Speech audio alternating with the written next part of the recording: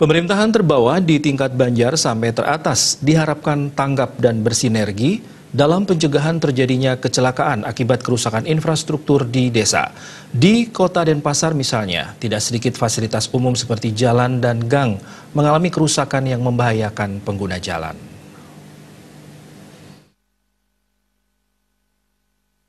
Mengantisipasi terjadinya peristiwa kecelakaan dan musibah di tingkat desa ataupun banjar, aparat di tingkat pemerintahan terbawah secara aktif memantau dan melaporkan kondisi wilayahnya, sehingga segala peristiwa seperti gang dan jalan yang rusak di kota Denpasar tidak sampai menimbulkan kecelakaan.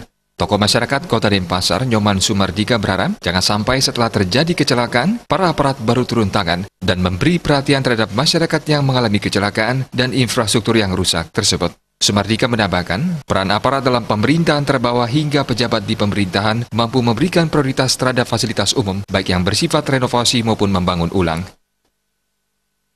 Dan aparat terkait termodel klien-klien ini ke, dia harus turun ke lapangan biar enggak seperti yang dia kata ABS asal bapak senang biar enggak seperti itu turun ke lapangan langsung memperhatikan apa yang harus diperhatikan dan apa yang harus diutamakan. Nah, Niko, Niko yang yang yang yang, yang harapan sebenarnya yang terjadi di lapangan, artinya biar tidak terjadi masalah baru ada tindak lanjut biar tidak seperti itu. Intinya perhatian apa dari terbawah sampai ke atas Niko harus mengutamakan yang mana harus diutamakan, mana harus didahului.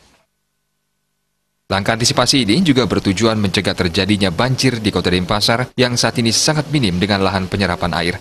Pemantauan secara rutin terhadap hal-hal yang mengganggu fasilitas umum bisa meminimalisasi kecelakaan, banjir, dan hal-hal yang tidak diinginkan lainnya. Jaya Kusuma